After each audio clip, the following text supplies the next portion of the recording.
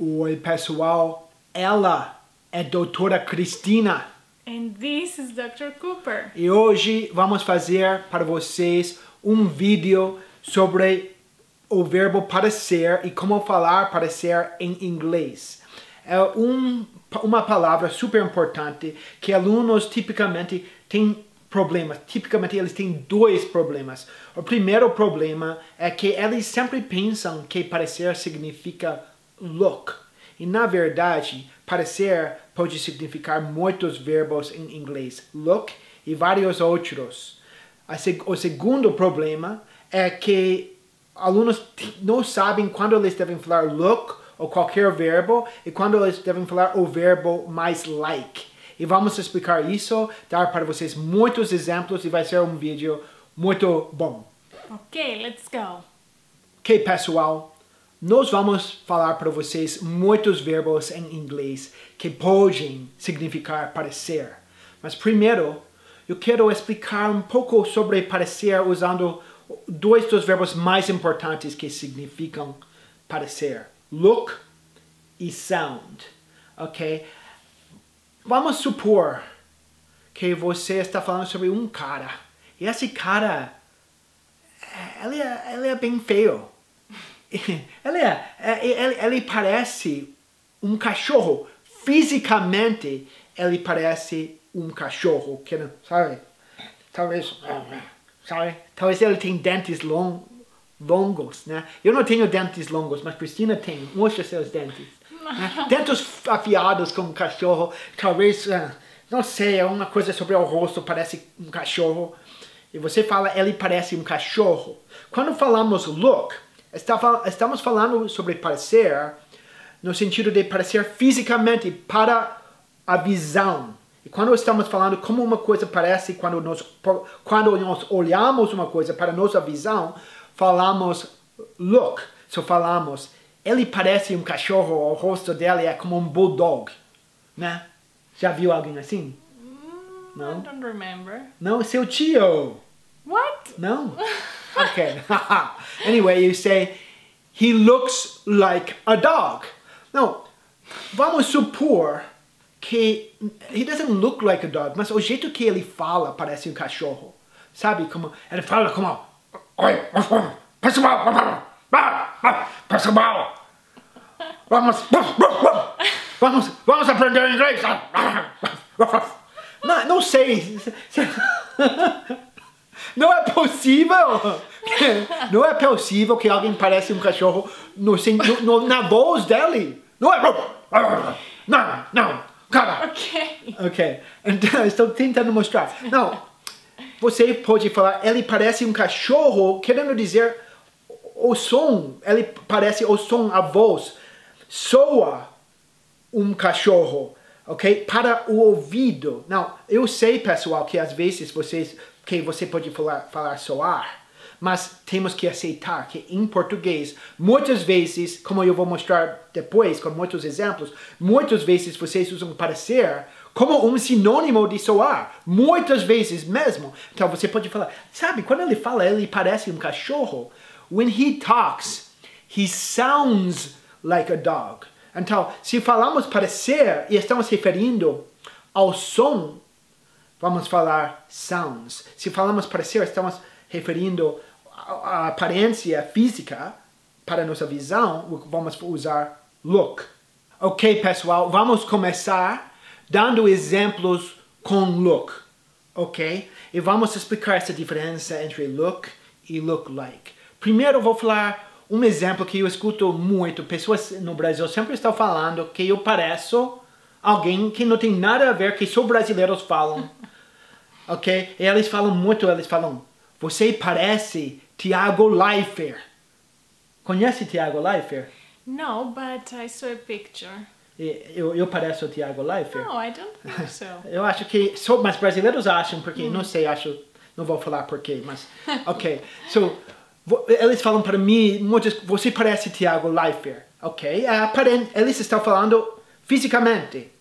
Então, eles falam, you look like Tiago Leifert. Não, eu quero dizer, talvez Tiago Leifert ele é ótimo, né? Mas eu, eu, eu não pareço ele. Você parece, you look like Tiago Leifert. Tiago Leifert é uma pessoa, ok? É um substantivo, né? Então vamos falar look like, ok? Now vamos dar outro exemplo. Pode pensar em outro exemplo, Cristina? Yeah. Uh, he he doesn't look like he's 40. He doesn't look like he's 40. Já você está com alguém, tem outra pessoa na mesa, você tem 40 anos? Ele tem 40 anos? Ele não parece que tem 40 anos. Ele, agora, olha essa frase. Say it again. He doesn't look like he's 40. Está vendo? He doesn't look like e temos uma frase depois. He is 40. Sujeito he, verbo is, um verbo. He doesn't look like he is 40. Falamos também look like. So, primeira frase, you look like Tiago Leifert.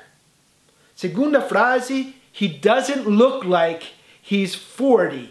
Agora, vamos supor que você fala, esse casaco parece quente, mas não é tão quente assim, ok? Você fala que física, você está olhando o casaco, é, é muito grande, sabe? Parece que é muito, não sei, coisa para deixar você sentir quente, mas só parece, aparentemente, fisicamente. And so you say, it, this coat, como falamos? This coat looks warm. Ok. Nós falamos, quando falamos roupa é quente, usamos uh, o adjetivo warm, not hot. Quando a roupa é quente. So, this coat looks warm. Olha, não falamos looks like. Nós falamos looks warm. Por quê? Oh, isso é a chave. Você não vai falar like se você segue simplesmente com um adjetivo. Se é só uma qualidade, um adjetivo warm, não vamos falar like. This coat looks warm. It's not warm. No é tão quente. It's not so warm, but it looks warm. Okay, warm. Adjetivo. Usamos look, not look like. Então, look like mais um substantivo, uma pessoa, ou look like mais uma frase com sujeito e verbo, mas look sem like mais um adjetivo. Perfeito, Cristina. Ok. Ok, pessoal, agora vamos fazer alguns exemplos com sound, frases em português que você falaria parecer e nós traduziríamos como sound. Por exemplo, eu falo, eu estava falando com ela ontem e sua voz parecia rouca. Sua voz parecia rouca, como falamos, Cristina. Her voice sounded hoarse. Her voice sounded hoarse. Pessoal, horse pode significar cavalo, mas horse também significa rouca. Não estamos falando parecia um cavalo, parecia rouca. Her voice sounded hoarse. Está vendo? Eu não falei sounded like horse, because horse é um adjetivo, rouca. Então, para, uh, para adjetivo, nós não colocamos like. Her voice sounded hoarse. Cristina, você tem um exemplo como parece? Yes. When Cooper sleeps, he snores and he sounds like a truck engine. I sound like a truck engine. Yeah. Eu, ela fala que eu ronco muito, mas eu não acho que, eu não acredito. Eu nunca me escutei roncando. Crazy. Sério? Pior? Yeah, worse than that. Worse. Ok, pessoal, verdade. Ela, ela dorme em outro, em outro quarto, na verdade. Né? Ok, mas se, eu- se eu, eu falo, sua voz parece, quando você ronca, você parece um, um, o motor de um caminhão. So, when you sleep, you, when you snore, you sound like a truck engine. Engine, motor. Ok, sound like, porque truck engine é um, um substantivo. Ok? Não, qual, qual seria outro, outro exemplo com sound? Oh, eu tenho um- uma boa. Ok. Ok? Eu, tenho, eu vou fazer um, um, um som. Bom, né? O que parece, pessoal? O que parece? Okay? What do I sound like? What do I sound like? You sound like an owl. You sound like an owl. Você parece uma coruja. Well, ok. Owl é um substantivo, né? Então vamos falar sounds like. You sound like, sim. A, você parece para meu ouvido. You sound like an owl. Vou falar mais um que quase nunca, eu acho que provavelmente poucas pessoas ensinam isso. Vamos supor que você está falando sobre um lugar lindo no Brasil. Vamos supor Fer, Fernando de Noronha que não conheço, ok? Você fala tanta coisa, você está falando para mim todo sobre a beleza de Fernando de Noronha. Eu falo, ah, mesmo? Parece um lugar lindo. O que eu falaria? Está vendo? Aqui eu não estou falando sobre o som da voz, estou falando sobre as palavras que você falou para mim. Mas se alguém fala uma história para você, se alguém descreve uma coisa para você, você pode, você pode falar sobre o que ele falou, parece no sentido de sounds. Se você fala isso, eu falo, oh, that place sounds beautiful. Entendeu? Pessoal, entenderam? Ok. Vamos para outros verbos. Ok, pessoal? Agora vamos falar sobre outros verbos que também podem ser traduzidos como parecer em português, ok? Primeiro, vamos supor que Cristina comprou sapatos. Você gosta de comprar sapatos? Yes. Ok, mas você não compra tanto, né? Não. Mas você gosta. Ok, e você compra, é muito, o, o, o sapato é muito leve, é muito confortável. E você fala que It feels like I'm barefoot. It feels like I'm barefoot. It feels like I'm barefoot. Parece que estou descalça. It feels like I'm barefoot. Por que feels like? Porque aqui parece uh, no sentido de tato. Isso é feel, right? It feels like I'm barefoot. Vamos para outro. Vamos supor você sabe o que é jacaré? Não. Vou, vou falar. É um animal. É, é muito. Like, it's just like this. Ou, ou, a boca é assim. O que é? Crocodile. Isso, oh, quase. Alligator. Alligator, jacaré.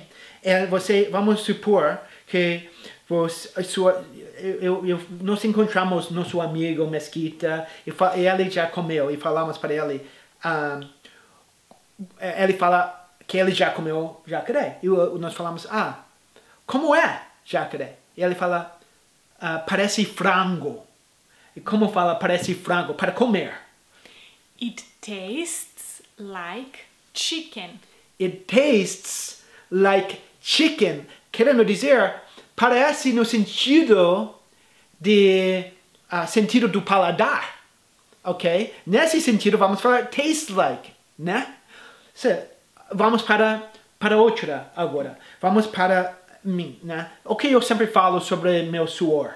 What do I always say about my sweat? Suor, sweat. Okay. You say that it smells like oranges. It smells like oranges, né? So você fala, parece no sentido de olfato. You would say, it smells like oranges, né? Olha. Não, it's not true. It does, pessoal. Eu não, eu não, meu cheiro é bom. Eu, é, sabe? Você fala, e você, você fala, sabe? Depois que você cheira, você, sabe? Parece laranjas. It smells like. Você não vai falar, it looks like. Parece laranja. Você não vai falar, sounds like. Você não vai falar, it tastes like, porque não está comendo. Você não vai falar, feels like. Você vai falar, it smells. Oh yeah, it smells like oranges. Alright, pessoal. Muitas pessoas sabem que a palavra act significa agir ou atuar, ou até pode significar comportar-se no sentido de behave. Mas pessoas não sabem que às vezes act significa parecer. Por exemplo, Cristina, você falou antes aquela aquela frase sobre 40 anos. O que você yes, falou? I said he doesn't look like he's 40. He doesn't look like he's 40. Yeah. E se você fala he doesn't look like he's 40, você fala ele não parece 40, mas você está falando no sentido de aparência fisicamente. Yeah. Mas uma vez, uma vez eu lembro muito bem, uh, uma, uma amiga, eu era muito novo na, na, época, e uma amiga nova também queria apresentar a, a tia dela. E ela, ela, ela não falava português, então ela falou comigo, comigo em inglês. Ela falou, eu falei, mas sua tia, ela não é muito velha. And she said, but she looks young. Eu pensei que ela falou, she looks young, então eu, pensei que ela estava falando sobre a aparência. Eu saí com aquela mulher e sabe uma coisa? She didn't look young. She looked old. Looked old. Ela, ela parecia velha. Física, porque looks é fisicamente para a visão. Eu falei para a minha amiga, por que você falou? She looks young, she looks old. Ela falou, mas ela sempre está rindo, ela sempre, sempre está pulando, dançando, rindo, sabe, com muita energia. Ok? Eu falei, mas isso não tem a ver com looks, você está falando sobre o jeito que ela se comporta. E quando você fala parece nesse sentido, falando ela parece nova no sentido que ela se comporta, você fala she acts young. Vou dar outro exemplo. Cristina, você acha que eu às vezes pareço um mico? What's mico? Macaco. yeah. You, you, sometimes you act like a monkey. Sometimes I act like a monkey, mas sabe uma coisa? A outra coisa que alguém falou para mim. You look like a monkey. Eu achei que ele estava me criticando, sabe, falando mal de mim. You look like a monkey. Mas ele, ele não estava falando sobre aparência, sobre aparência né? He, ele queria dizer, you look, you, you, you act young. You act like a monkey. Like, uh, uh, uh, uh. yeah, right? But, okay, now, ou, ou você fala, aquele cara aquele cara, ele parece um velho, ele sempre está ficando em casa, ele não sai, ou se ele sai, ele, ele sai resmungando. Ok. Ok? E você fala, you know, he, he, acts, he acts like an old man. He never goes out, and when he goes out, he's just grumbling. Resmungando, grumbling. Uh, maybe I'm like that these You days. are! You are! You act, look, she's young, she looks young, but she acts old, pessoal. No, just these days, when I was sick. yeah, exactly. Pessoal, agora temos um verbo muito importante, nós não esquecemos. Sim. Muitas pessoas querem saber porque sim é um verbo muito importante. Qual a diferença entre sim e esses outros verbos? E sim quer dizer parece no sentido que dá a impressão, e a, impressão é bem geral. Nós estamos falando sobre como uma coisa parece uh, aparência para visão, ou o som, ou uh, o cheiro. Estamos falando sobre tudo junto que dá a impressão. Tudo junto. E dá a impressão, mas quando falamos sim, é a ideia que dá essa impressão, mas talvez estamos errado às vezes falamos. Ok? So, um exemplo seria, quando nós damos a entrevista, no começo, ele parecia que estava mentindo. Ok? So, he seemed like he was lying. Seemed like, mais frase. He was lying. Quando nós falamos he seemed like he was lying, talvez nós nem sabemos porquê. Não é uma coisa que vemos, não é uma coisa que escutamos. É tudo junto deu essa impressão. Nós tínhamos essa impressão. Parecia no sentido que tínhamos essa impressão. Isso seria he seemed like he was lying. Ou Cristina, eu falo para você, parece que foi ontem que nós nos conhecemos. How do we say that? It seems like yesterday. It seems like yesterday. Do you think it's true? No. but I can say, it seems like yesterday, Christina. Parece que foi ontem. Why it seems like yesterday? É a impressão que eu tenho. Estou falando sobre ok, estou vendo como looks like? Não, não posso falar looks like yesterday. Não estou falando it sounds like yesterday. Não estou falando it tastes like yesterday, o sentido para, parece para meu paladar. Estou falando, dá-me, dá, dá para mim a impressão, it seems like yesterday. Exactly. Ou podemos falar, parece Parece um sonho. Ah, ok. Ok, parecia um sonho, porque vamos para um lugar, sabe, é muito legal. E você fala, ah, Cooper, você é tão legal. Parecia um sonho. Não estamos falando sobre looks nem sounds. Estamos falando, isso é a impressão inteira, né? A impressão inteira. E nós falaremos, it seems Like like... a dream. Isso, thank you. Say it again. It seems like a dream. É, eh, mas vou dar mais um exemplo com som adjetivo. Ok? Vamos supor que você entra em uma casa e toda dá você a impressão que é assombrada. Não sei, não é só a aparência, não é só o som, não é só o cheiro, é tudo junto.